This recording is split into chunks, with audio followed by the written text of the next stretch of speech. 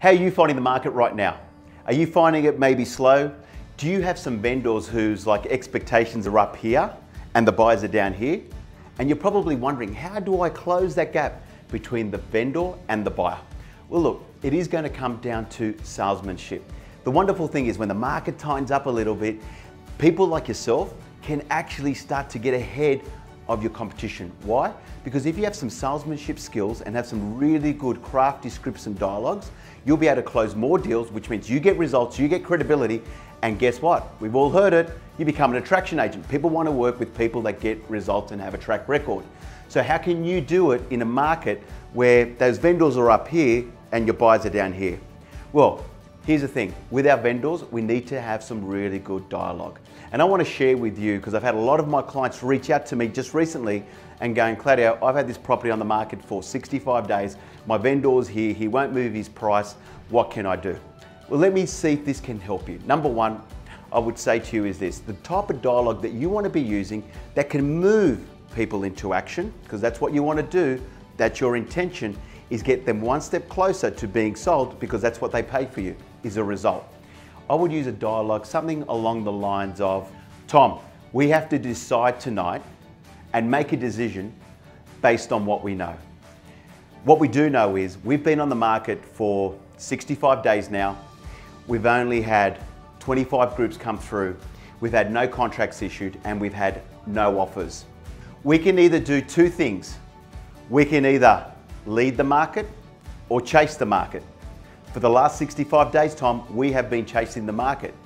If we can lead the market and price it aggressively, so we can start to open up the dialogue, recreate that buyer excitement, re-energize the listing, we will be able to take the equity out of all the other homes currently on the market, which is your competition, and get you guys sold so you guys can feel really good about moving on to the next chapter of your life.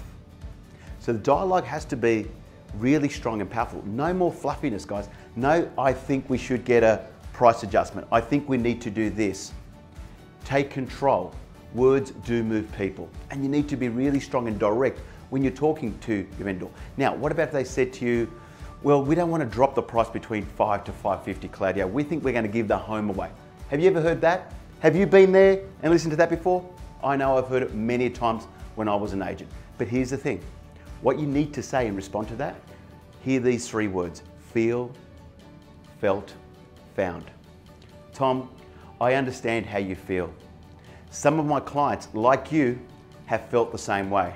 But my best clients have found that once we adjusted the price, we started to open up negotiations with some new buyers. We recreated that excitement with the buyers. We re-energized the listing and eventually got your home sold for a premium result. Feel, felt, found. Remember, get to their level. Understand, understand how you feel. Let them understand that also other clients have felt the same way. But what we found was our best clients got sold for a premium result once we moved it to this level, okay?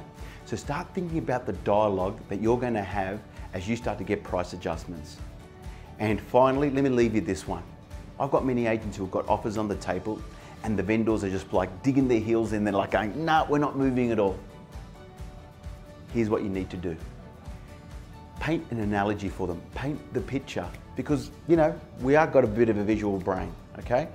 Just say to them, Tom, I have an offer here tonight at $1.55 million. If we were at a casino right now, I want you to imagine that we've got this sitting here in casino chips. We have the opportunity to cash in and take the 1.55 million, or you can take and roll that dice and see if your numbers come up, and if they don't, that 1.55 can go.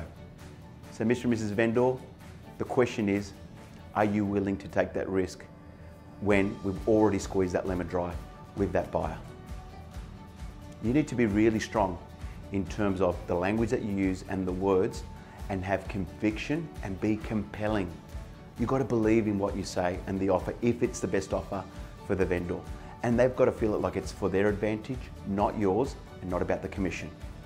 Let's get out there. With spring just around the corner, now is the time to level up your skills.